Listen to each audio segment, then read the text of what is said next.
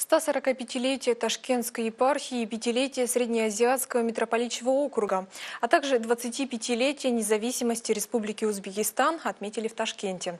В Академическом русском драматическом театре Узбекистана состоялся праздничный концерт.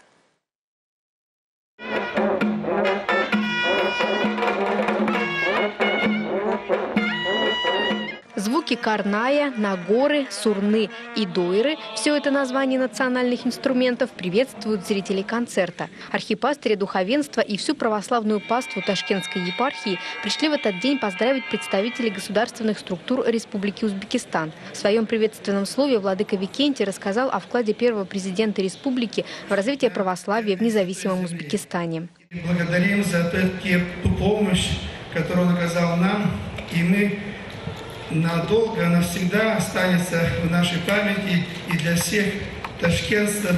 Первым епископом с титулом Ташкентский и Туркестанский в 1871 году стал владыка Сафония Сокольский, но сюда архипастырь прибыл лишь через год после назначения. Поэтому мы рады будем и на следующий год вспоминать вот это событие, но сейчас мы рады, что наша епархия имеет такое юбилей, юбилей, и мы благодарны узбекскому народу, правительству за то, что мы имеем такую счастливую возможность жить на этой святой земле. Я всех вас, дорогие братья и сестры, поздравляю с нашими юбилеями. Дай Бог всем здравия, благополучия и успеха в ваших трудах. Концертная часть была открыта великолепным выступлением архиерейского хора при Свято-Успенском кафедральном соборе Ташкента, а также всех порадовал гость столицы республики, победитель четвертого проекта «Голос» на Первом канале иеромонах Фотий Молчанов.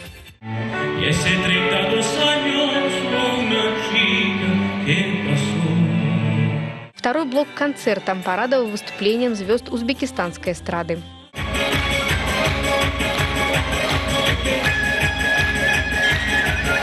Большое спасибо вам за проведение столь грандиозного и масштабного концерта.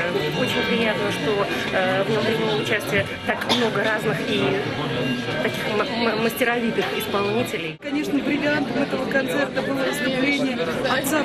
Его такая замечательная, строгая академическая манера исполнения. Телеканал «Союз» присоединяется к поздравлениям с юбилейными датами и желает духовенству и мирянам епархии помощи Божией и благополучия.